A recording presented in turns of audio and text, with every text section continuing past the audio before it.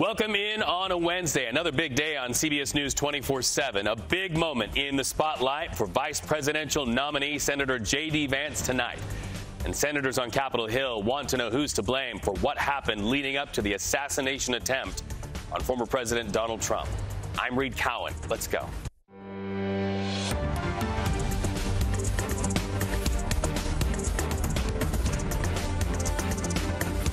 Let's get you started in Milwaukee. All eyes on vice presidential nominee Senator J.D. Vance. He takes the stage tonight, but he's warming up by speaking at an event on finance very soon.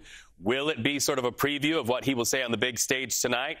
We are watching for it. As soon as we see him take to that stage on finance, you'll see it right here on the stream. But for now, CBS News correspondent Natalie Brand is live at the RNC in Milwaukee. Okay, so Natalie, tonight especially is the night to sell Senator Vance to the American public. Good to be with you, Reed. That's right. And also introduce Senator Vance to those who may not be familiar with his personal story, which, uh, according to allies, is really a strategic move to put him on the ticket. You may be familiar with his memoir, Hillbilly Elegy, about growing up in poverty in Ohio. His family had struggles uh, with drug addiction, and this is really a story of rising out of such difficult circumstances circumstances. Uh, in speaking to the lieutenant governor of Ohio earlier this week, he said that he believes Senator Vance's background will really allow him uh, to reach out to working class voters in some of these key Rust Belt states, which are so important to, as you know, uh, November. These are states, Pennsylvania, Michigan, Wisconsin, that could help determine the election.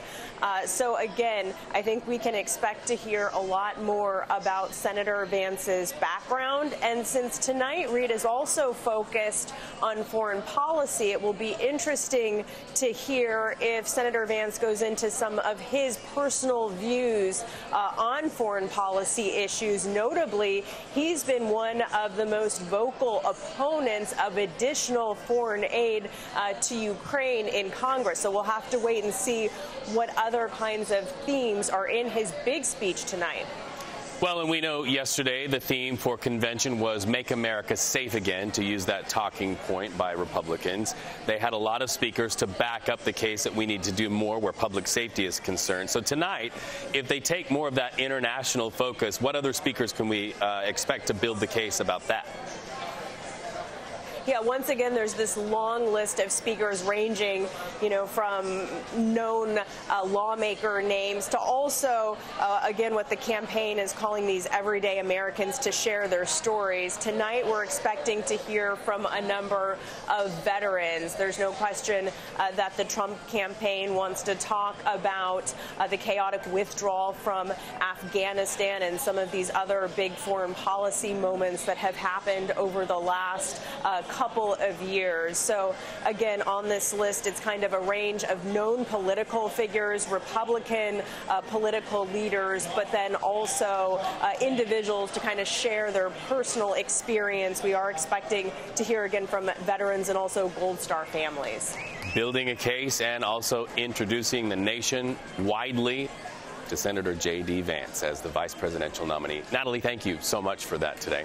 Hey, our video feeds and monitors have video telling the story of a deadly police shooting outside of where you just saw Natalie standing there at the Republican National Convention right outside that security perimeter. But before we show this to you, we want to warn you some of this video from police body camera may be hard to watch. Let's go to it now. So we're going to freeze the video before police fire that fatal shot.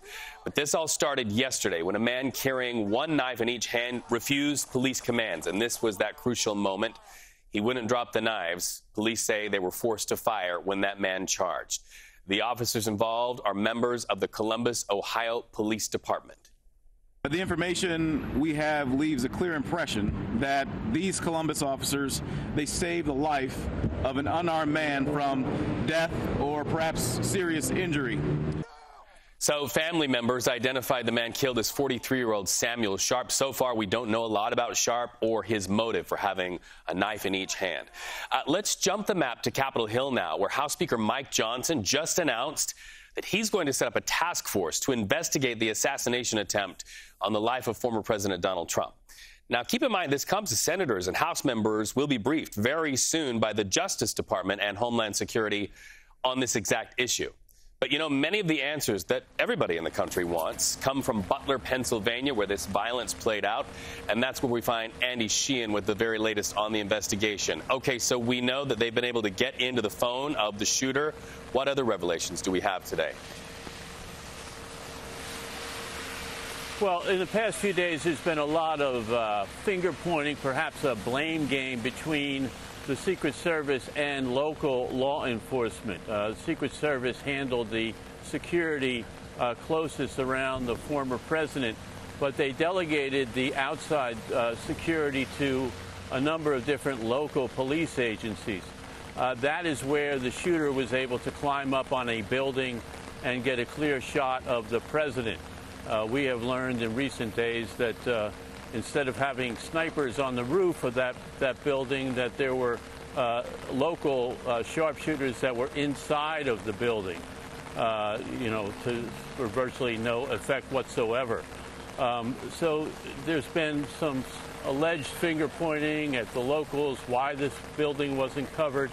Uh, just last night, uh, the director, the secretary of the Secret Service called uh, the Butler County Sheriff uh, apologized and took full responsibility for this. And this is what the locals have been saying, that this was a Secret Service operation from the beginning, uh, that they were in charge of directing uh, the local people.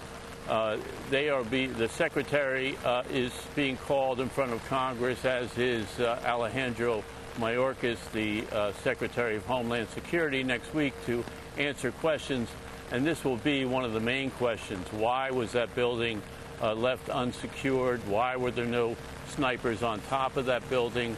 And who was responsible? And now the Secret Service says that they will take uh, full brunt of that, that, uh, that responsibility. Reporting in the rain live from one of our communities in the United States for the stream. Andy, we thank you so much. By the way, CBS News has learned that while the Trump assassination attempt played out, the former president's security detail was already on high alert about an Iranian plot to kill Trump. We've learned in response, Donald Trump's security detail beefed up even weeks before the shooting at the campaign rally.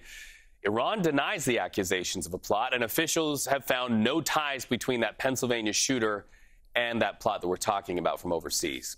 Hey, our video monitor is taking us on the campaign trail today in Las Vegas, where President Joe Biden works to shore up black and Latino voters. CBS News reporter Aaron Navarro has the president's plans.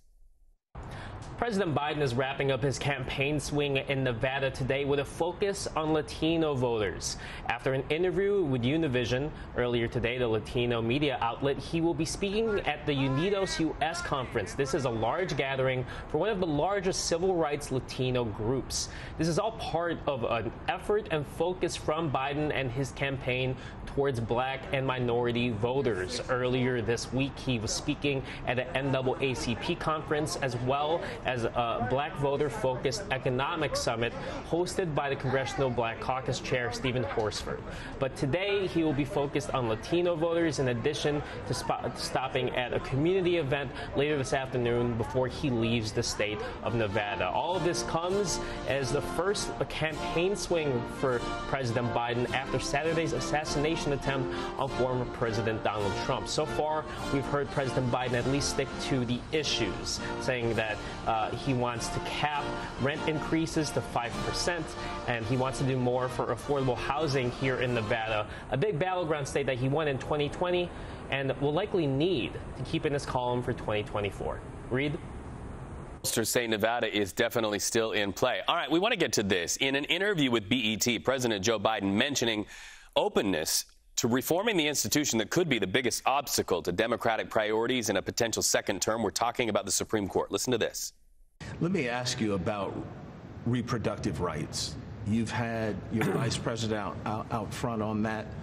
Um, talking about the long game, people will say that there's an example of Democrats not playing the long game well, that conservatives have been saying they're going to get rid of this for years now, and they got it. You've said that you will restore it. How can you be assured that you'll be able to do that? The Supreme Court did it. Trump appointed the Supreme Court with the express purpose of doing it. So that's the way it They're works. still going to have the majority, no matter if you win or lose. Well, there's going to probably be two more appointments to the court. There's probably two people going to resign, or resign, retire. Just imagine if, court, if he has two more appointments on that, what that means forever. So, we also want to get you results from a poll of Democrats that cannot be good right now for President Joe Biden. This is a new poll from the Associated Press, and here are the findings 65% of Democrats and 77% of independents polled believe Joe Biden should drop out of the race. We also have video, speaking of the campaign trail, coming to us from Joint Base Andrews. Vice President Kamala Harris leaving for Kalamazoo, Michigan, another battleground state, to try to get votes for the president. She's also going to host a conversation with Donald Trump's former national security official, Olivia Troy. They are reportedly going to be talking about Troy's personal reproductive health story. Keep in mind, reproductive rights is a big part of the Democrats' drumbeat leading up to the general election, as you just heard in that BET interview. All right, when we come back, we are going to be talking about storm damage in New York State. CBS News 24 7 streaming coast to coast and worldwide. We'll watch the monitors until we get back.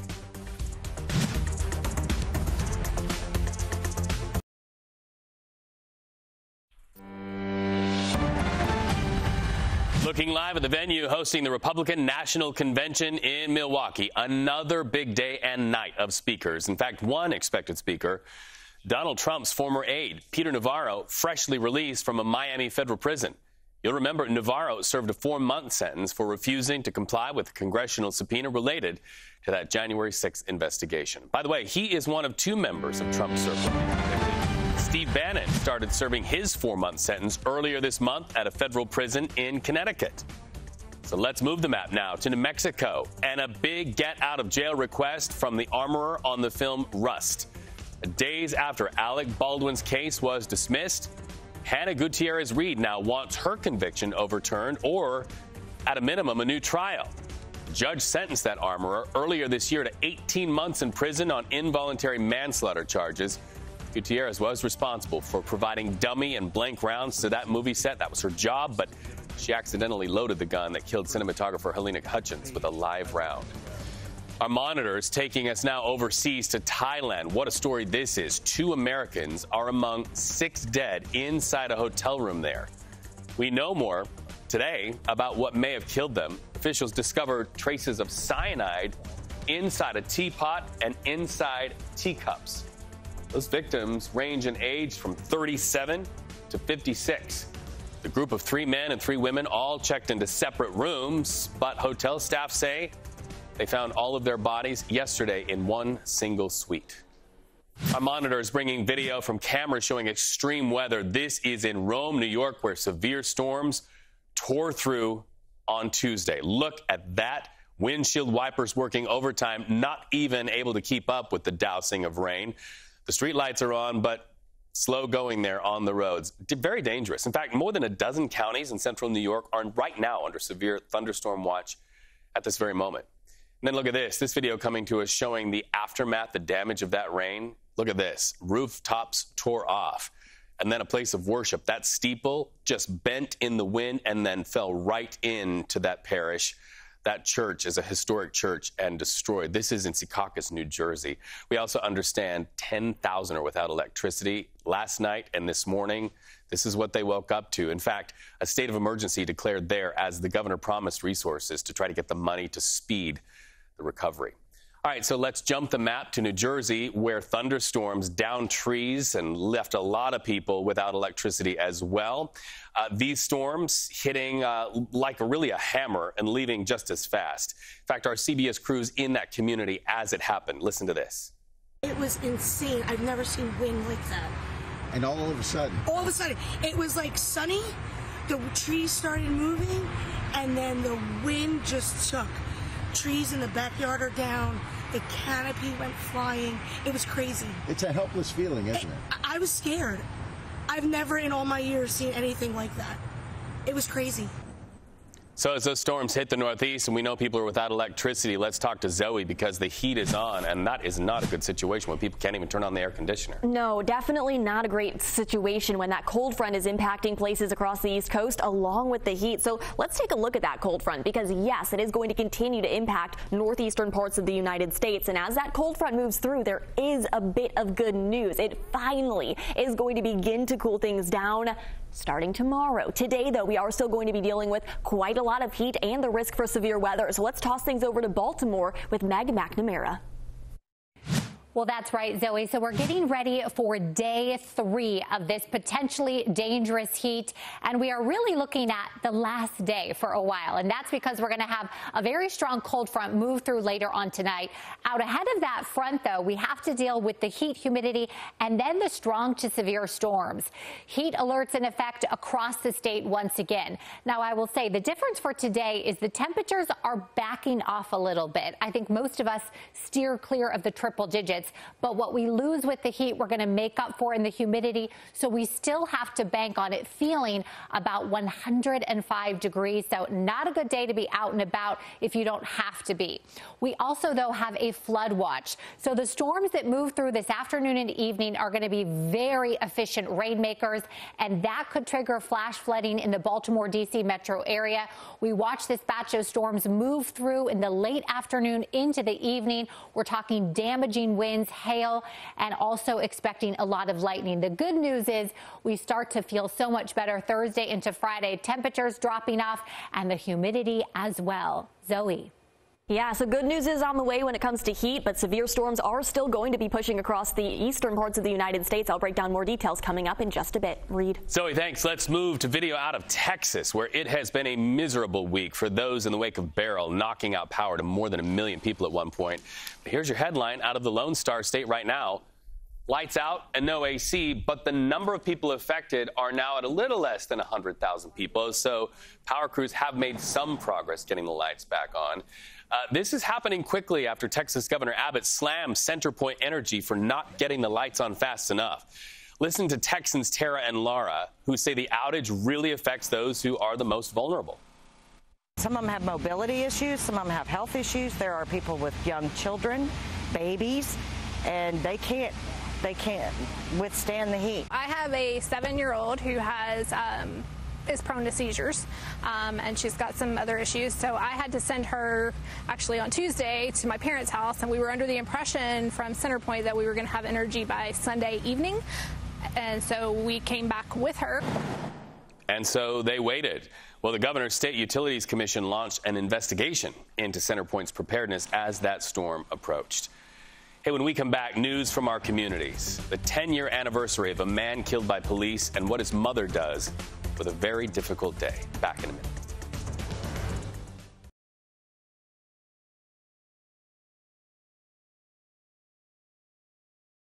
The Republican National Convention in Milwaukee, Wisconsin. Another big day of speakers, not the least of which, of course, is Republican Senator J.D. Vance, who is also the choice of Donald Trump to be his running mate for vice president. Let's move on our map to Nashville, Illinois, and a story we broke on the stream yesterday concerns about a dam failure causing hundreds to have to run from their homes. And look at this water rushed in at once in a century rains. Really, it caused that local reservoir to be overtopped. So that brought a lot of flooding in the city. In fact, we understand that at least one woman had to be rescued from her home because the roads were closed. So, what about the failure of the dam? We've been watching that over the last 24 hours. So far, good news, it's holding, but officials there say repairs are needed and fast. And so, our CBS partners are talking to viewers there. In fact, Chad in his neighborhood says this is just too much, and he's ready to get out and move. We had 17 inches before. Uh, this is 37 inches this time, 35, 37 inches. It's never got that high before, and it's brand new welder, brand new deep freeze full of meat. How you feeling, man? Uh, What's going through your head? Yeah, we're we're we're done with this. We we want to move, and it's a lot of damage. So Chad's out of there, and a little piece of information we just got as we bring in Zoe Mintz. More rain expected, and that means more risk for people like Chad. Yes, unfortunately, even more rain on top of the about six inches that they've received in the past eight hours or so. And it's not just rain, but it's widespread severe weather that we are still expecting as another cold front will be moving across the northeastern parts of the United States. And you can see that cold front. I'm standing directly on it here, and it will continue to make its way across northeastern parts of the United States. This includes Washington, D.C., Baltimore, like we talked about before, with damaging wind gusts and the potential for a little bit of hail as well. But like we were talking about just a minute ago, it's the rain accumulation across the central United States that we are going to be a little bit more concerned about. The areas that are lighting up in blue, that includes places in southern Illinois that are going to be seeing more additional rainfall. Let's take a closer look at what severe weather impacts we're expecting today because right now you can see very clearly the widespread thunderstorms that are continuing to develop along that cold front. It's going to drop a lot of rainfall. An additional three to five inches is possible, especially down across the Midwest that have already seen inundated roads, and that's going to be a big issue. But severe weather potential across the Northeast and across eastern Colorado, too, where they might be seeing damaging wind gust upwards of 60 miles an hour, potentially even up to 75. There is some slightly better news. There is not as much of a tornado threat as this cold front moves through, but it's going to be those straight line wind gusts that are going to cause damage, along with check out an excessive rainfall risk that is going to continue. All things to keep our eyes on today, but luckily this cold front is also going to cool things down just a little bit. And cooler weather is always a good thing, especially with the places that don't have air conditioning right now, the places that don't have power right now. Very good news that the cold front should be cooling things down, but unfortunately it comes along with the severe weather. Oh my goodness. This is a roller coaster. Oh, yeah. We're just going to keep our eyes on it. Hopefully, everyone stays safe. We're keeping them in our prayers. We know you are. Thank you so much.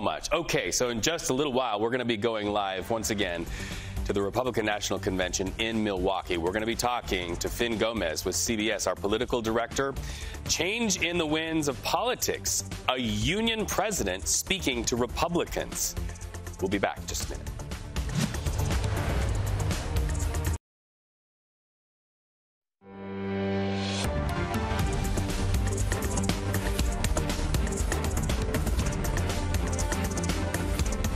Today marks 10 years since the murder of Eric Garner at the hands of a New York City police officer who put Eric in a chokehold. Today, his mother is leading a march in his honor. CBS New York's Natalie Duddridge joins us live from Staten Island. What do they hope to accomplish with this march on this anniversary? Well, Reed, they are still pushing for change, but just a short while ago, we spoke to Eric Garner's mother. She says she remembers this day 10 years ago like it was yesterday, and that is why she is holding this event here in Tompkins Square Park. You can see there are people eating, and there are speakers, there are dancers, there are people sharing stories about him. In fact, the street we are standing on right now was renamed Eric Garner Way. Eric Garner was 43 when he was killed in 2014 in one of the most high profile, controversial police involved deaths in New York City's history. It sparked protests here and across the country. He was arrested for allegedly selling loose cigarettes, and this incident was captured on cell phone video when Garner could be heard 11 times telling officers, I can't breathe before he died. His death was ruled a homicide. Authorities determined NYPD officer Daniel Pantaleo used a banned chokehold, but he was never charged. He was eventually fired in 2019. That's five years after this happened. And then in 2020, the New York State Assembly passed the Eric Garner Anti-Chokehold Act, and it states that any officer who injures or kills someone through the use of a chokehold can face up to 15 years behind bars. And that word, those words, I can't breathe, became the rallying cry for the Black Lives Matter movement, symbolizing police brutality and racial injustice. And again, Eric Garner's mother, Gwen Carr, says there's still much work to do. She's still seeking justice for her son. She says there were other officers who were involved in her son's death that day that she says should have been fired, but they were not. So she continues to fight for him and other families who have been through tragedy like this. Eric Garner was a father. He also has grandchildren, and in fact, uh, they are here somewhere today, um, just off camera. Uh, we can't swing around to it, but there are some kids playing basketball. Uh, one of them, his grandson. I'm just going to duck under the camera as we head over to the basketball players over here. Now, again, the Garner family saying today is about sharing his story. You can see uh, the youth over there sharing his story with them, teaching this next generation to continue to push for change, hoping something like this does not happen again. Now, this commemoration will continue to take place right through 7 p.m. tonight, and all members of the public, people who are affected on Staten Island, are welcome. We're here live on Staten Island. Natalie Duddridge, CBS 2 News. And Natalie, we know we're in a sensitive time in our nation. We are in an election season. Are you hearing anything from anybody there in that community where you are reporting live that they're aware of what's going on in Milwaukee, what's being talked about at the Republican National Convention, and also the campaign trail for President Joe Biden? Here in this community so far this afternoon, I can see uh, there's a van here, the Justice Network. Uh, I just lost my earpiece in case you asked me another question here. Uh, but we haven't heard anything like that. The focus today is on celebration. It's also on the reflection of his life. And so far, family members, they actually tell us they're they're trying to stay out of the politics, just keep today's focus on his life and this anniversary. Natalie, thank you so much for that live report. Our video monitors now take us on the campaign trail in Las Vegas today, where President Joe Biden works hard to shore up black and Latino voters. He's set to address the largest annual gathering of Latino advocates and policymakers in Las Vegas later today. In fact, CBS News has also confirmed the president is considering reforms to the highest court in the land, including term limits for justices and an enforceable code of ethics for the Supreme Court. Those would all, though, require congressional approval. President Biden also sat down for an exclusive interview with BET, answering a question about what would make him reevaluate staying in the race. You can watch that interview tonight on BET, which is a partner of our uh, parent company, Paramount. A new video coming out of Michigan right now. Vice President Kamala Harris just arrived in Kalamazoo, Michigan. Now, that's a battleground state. They need Michigan to win. Uh, the vice president hosting a conversation with Donald Trump's former national security official, Olivia Troy. They will sit down and talk about, on the mic in front of cameras, Troy's personal reproductive health story. Keep in mind, reproductive rights is a big part of the Democrats' drumbeat leading up to the general election. We turn our cameras now to extreme weather. This is out of Rome, New York, where severe storms tore through on a Tuesday. More than a dozen counties in central New York under severe thunderstorm watches as heavy rain marched across that state and reduced visibility at many points. So many people having to deal with this. As they wake up today, they are out on the streets and they're seeing, look, trees downed in parks, roadways impassable, even cars flipped there the recovery is going to take a long time as Mother Nature continues to bear down on these United States, Zoe. Yes, unfortunately, the heat is going to continue, though. That is kind of the off chance. The heat today, all ahead of more severe weather on the way this afternoon. But let's focus on the heat really quick because that's going to be a big issue across many locations that don't have power because of the severe weather. And that's what we're going to be dealing with down near Texas, down across other locations in the United States. But that, again, is going to be one of those bigger issues that we're going to be seeing this afternoon. East coast of the United States going to continue to deal with heat. Yesterday, Washington, D.C. saw their hottest day in over 30 years. Heat indices will continue to be well above these actual temperatures. So Charlotte, Norfolk, Washington, D.C.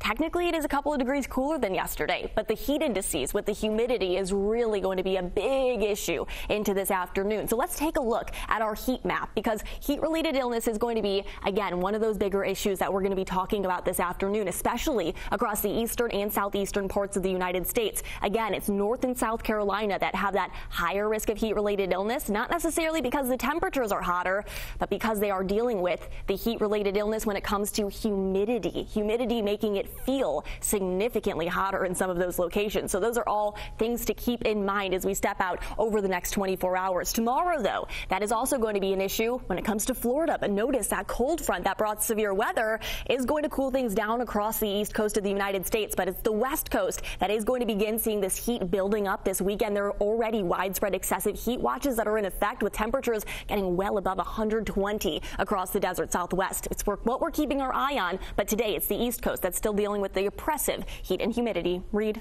All right. Thank you so much. Our video monitors take us across the pond where this morning King Charles presides over Parliament. This year marks the first time in 14 years a left leaning party won in the general election there. CBS News foreign senior correspondent Elizabeth Palmer is there. Reed, it's been a wet, gray summer so far here in the UK, but today the sun shone at last on one of the great spectacles of the political calendar.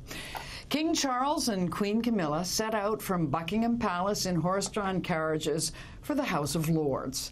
Inside, the Lords themselves were joined by hundreds of members of Parliament who had walked over from the House of Commons, including the brand new Prime Minister, Sir Keir Starmer, who was elected not even a month ago. And then in this grand chamber, full to overflowing, the king, who's currently being treated for cancer, read what's called the King's Speech, although it is in fact written by the government and it sets out the government's legislative targets for the new session of Parliament. Britons were listening carefully. This is a Labour, that is centre left government, starting its very first session with pledges for stability and transparency after what's been a chaotic period under the Conservatives.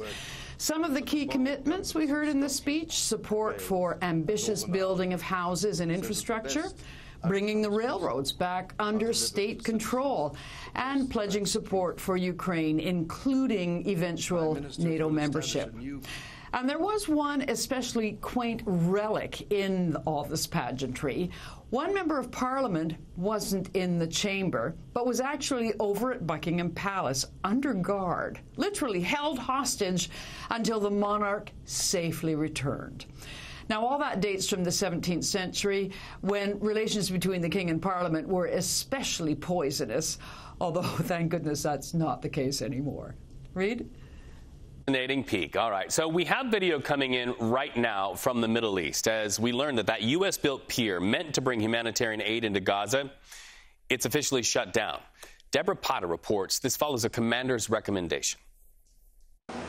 Gaza has suffered one of the deadliest weeks of strikes since the war began, leaving the few hospitals that are still functioning overrun with mostly civilian casualties.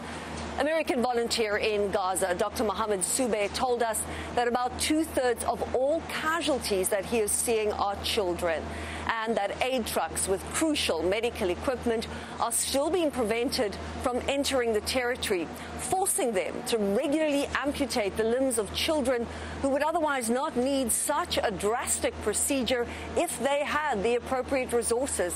Israel has been launching daily strikes, often in areas deemed safe zones. This father has fled violence multiple times in a bid to keep his family safe until yesterday life was wrenched apart in an instant when an Israeli airstrike tore through their tent camp, killing his beloved 21 month old son, whom he had just put down for an afternoon nap. It bears pointing out that nine months into this war, foreign journalists are still not allowed to enter and report independently from Gaza. But Reed, doctors tell us that the situation is worse than ever. That's why we're glad you're there to report. Thank you so much. When we come back, shifting political winds. Get this a union boss speaking to Republicans in Milwaukee. We'll chat live with CBS political director Fin Gomez when we come back.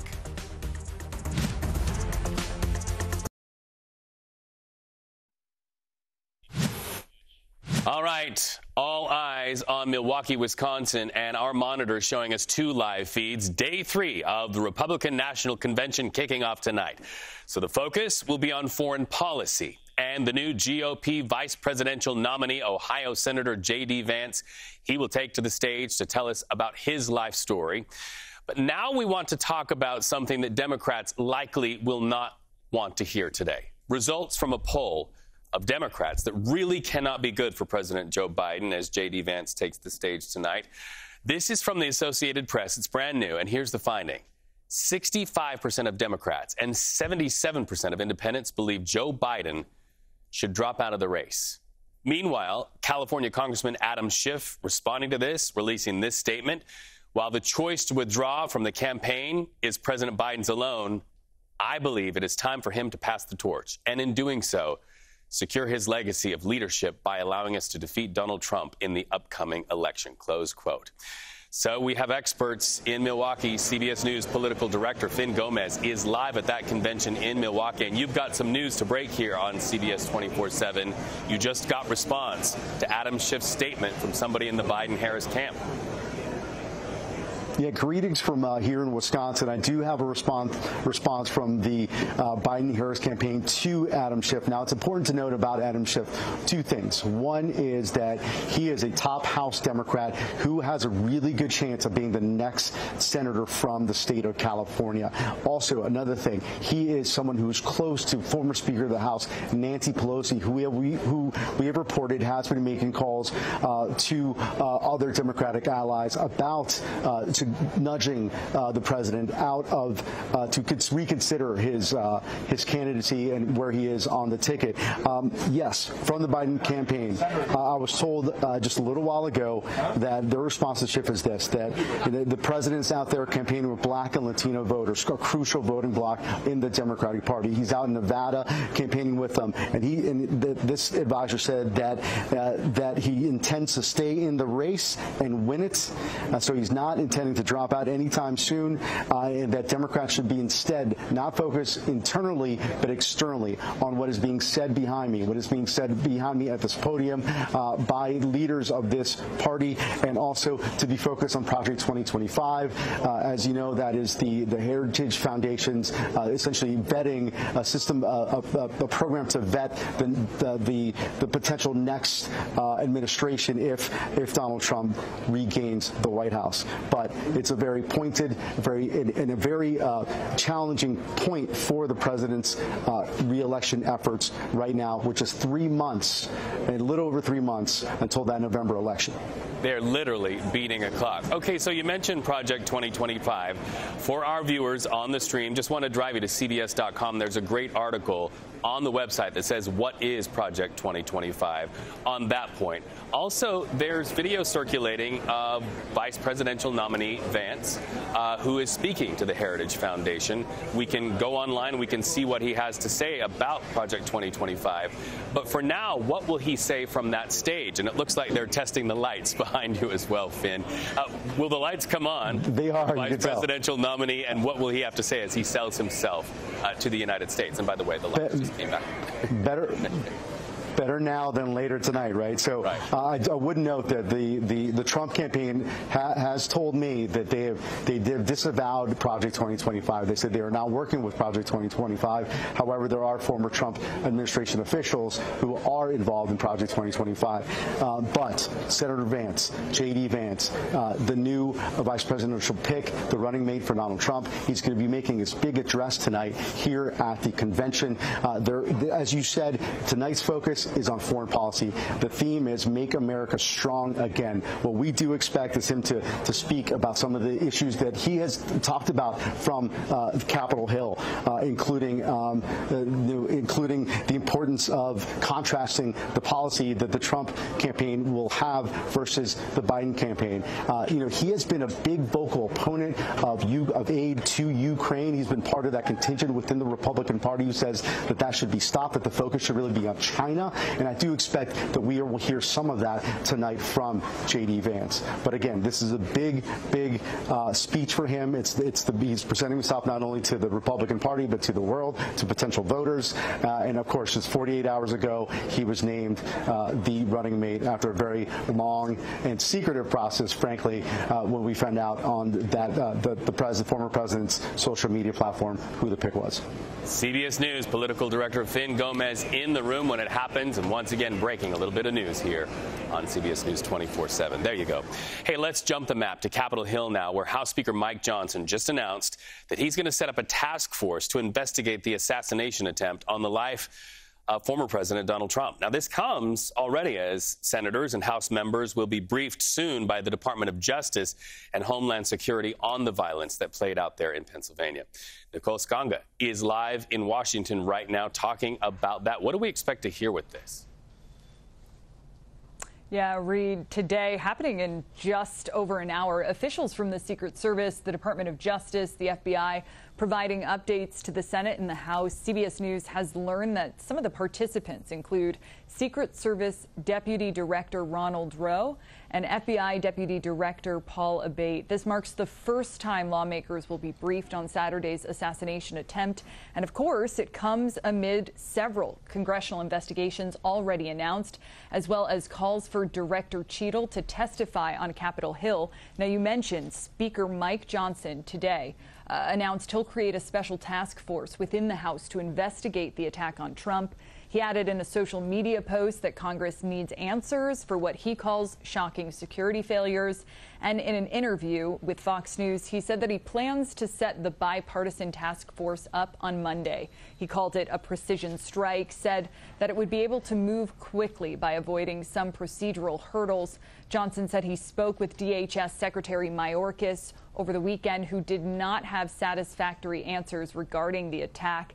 He also said he plans to call for C- Secret Service Director Kimberly Cheatle to resign. Of course, for her part, the director says she has no plans to step down at this point. Something also that was revelatory to me today the word that Iran had a plot, active plot to assassinate former President Donald Trump, and that his security detail already had intelligence about that. What do you know about this plot by Iran?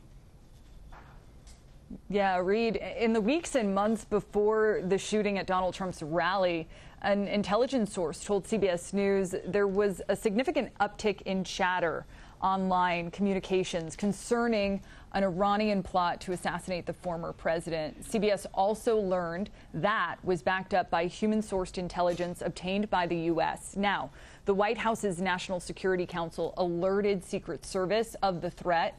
There were also requests by Trump's security detail for more help. These were happening at the same time. More assets were granted by the Secret Service. Counter sniper teams, like the ones we saw take out the gunman Saturday, counter assault teams, those are the agents you saw surround and cover Trump as the shots rang out. Drones, robotic dogs. Of course, Trump has long been a target for the Iranians, most notably after directing the 2020 airstrike that killed a top Iranian commander. Uh, we should point out that at this point in the investigation, uh, there is no known connection between this new threat stream uh, and the gunman during Saturday's attack. Nicole Sganga, thank you so much. Live from our nation's capital and CBS headquarters. We appreciate you. So let's look now to St. Louis and talk about the rain. Heavy rains blasted the city and caused flooding throughout the area. And look at this. That is floodwater pouring into the basement of a St. Louis firehouse on Tuesday. First responders, their gear waterlogged there because of this rainwater that equaled floodwater. Zoe, let's talk about that. Yeah, unfortunately, about six inches of rain fell in just the past eight hours. That's inundated widespread rivers, and that's created widespread flooding across the Midwest, as we are expecting even more rain accumulation today as well. So let's take a look at that rain accumulation and again, where it's located across the Midwest and the places that have already seen a good amount of rain. They're already looking at those saturated soil levels, and that's what we're going to continue to see again over the next 24 hours as this cold front makes its way across the northeastern United States. It's going to bring widespread severe weather as well. So let's take a look at where it is right now because we are dealing with the effects of it across the central United States. You can kind of see that cold front as it sets up, and it's again going to be bringing us these widespread chances for severe weather all across northeastern United States and also across eastern parts of Colorado, where we're expecting wind gusts upwards of 60 to 70 miles an hour, along with chances for more flooding. So all things to keep our eyes on. And again, our, our thoughts are going to be with the people who've already dealt with this for the past week, and they're going to continue to see it today. All right. Well, help each other out there. If you're watching right now in the palm of your hand on CBS News streaming, just reach out to your neighbor. Hey, that's it for us at CBS News 24 7. We thank you for watching. Let's leave you with a live picture in Milwaukee, right inside the headquarters for the Republican National Convention.